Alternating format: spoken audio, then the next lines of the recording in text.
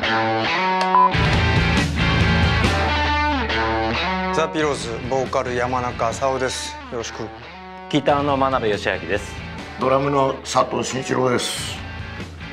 えーとまずプリクリとの出会いのきっかけなんですけど鶴巻監督が、えー、ピローズをまあ好きでいてくれたのかな「ワンライフっていう曲があって僕らに。その曲みたいのを使いたいというようなちょっとリクエストとかもあって僕らあんまりそのアニメーションの世界に詳しくなくてなので多分最初はちょっと僕らは失礼だったかもしれない。あの「ワンライフっていうロックバラードをリクエストされたのに全然違う曲を出したんですよ。メインテーマとなる「ライドシューティングスター」っていう曲がその時新曲としてあって一番これがかっこいいと思ってたのでリクエストと全く違う曲を、まあ、とりあえずこれ出してみようって言って出したところ多分鶴巻さんは最初は戸惑ったと思うんですけどいやこの曲は面白いなと思っていただいてエンディングテーマのもともと考えてたプランを変えてピローズの「ライドシューティングスター」に合うように変えたと、まあ、後にあのおっしゃってたのでちょっと最初失礼だったよね俺たちね。よくよく分かってないよく分かってないっていうかあのあっていうかその「フリクリ」というアニメがどうっていうんではなくてまずその、えー、何かそのまあ僕らの活動というのは作詞作曲して CD を作って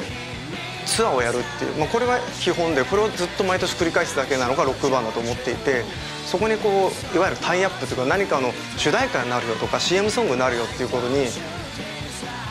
結構ちょっとうんざりしてたっていうかあのなんかそのことに興味がなかったんですね。あのなんかそういうちょっと制約が出るじゃないですか。全然違うよって言われたらじゃあ今回の話なかったことにっていうぐらいの強気な気持ちでいたけど危なかったな。危なかったうん。よかったよ。フリクルはね大事だった俺たちの人生には。お互いにとってラッキーだったと僕は一応そう思ってますけど、はい、ライドシューティングスターという曲は全体を通したあのストーリーがないんですね。僕と君のうん世界はあるんだけどなんていうか一行一行こう歌ってて自分の口が気持ちいいみたいな感情の乗せ方をしていてメロディーとかサウンドの方を重視していてで結果その僕と君のストーリーはあるんだけど細かくついつまが合うような端から端までついつまを合わすようなアニメーションじゃないと僕は思ってるんですねフリクリのことを。なのでとてもフィットしたんじゃないかなっていうかその、うん、結果思ってますけどね。うんまあ、当時99年2000年の頃、まあ、そのフリクリに関わって、えー、おかげで僕らの音楽がそそれ以前よりもはるかに広がりを見せてでその時は「2出ろ2出ろ!」ってこうね「2出ろ!」って思ってたんですけどもうそこから、まあ、10年経ち僕はないだろうってもちろん思っていてで16年経って「フリクリ2」が出るらしいっていう噂を聞いたんですよ。だからそれはあくまでもアニメーション「フリクリ2」が出るらしいっていう噂でピローズに音楽来るかどうかまだわからないっていうのでどうなんだどうなんだっていうどうなんだと思ったらまんまとやってきましたよ。イエーイ！いやよかったっすよ。ライドシューティングスター1曲が主題歌に使われたよっていうんではなくてこうフリクリ作品の全編あのサウンドトラックはピローズの音楽なので、まあ、すごくこう思い入れもありますし前回とは打って変わってめちゃめちゃフリクリのことを考えて歌詞の世界観やらサウンドが勝手に僕の思っている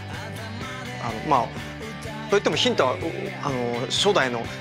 フリクリの世界でしかないんですけど僕なりにうこういうのが合うだろうっていうのを考えて、えー、下曲もサウンドも作ってったんで、まあ、気に入っていただきたいな。その15年以上経ったピローズ。がさらに今どうなってるのかを知ってもらういい機会でもありますしでまた新しいフリクリ2、3も僕たちも楽しみにしてますので何かまたいい関係性が新たにできればいいなと思ってます。僕も楽しみにしているので皆さんも楽しみに。はい。ありがとうございますありがとうございました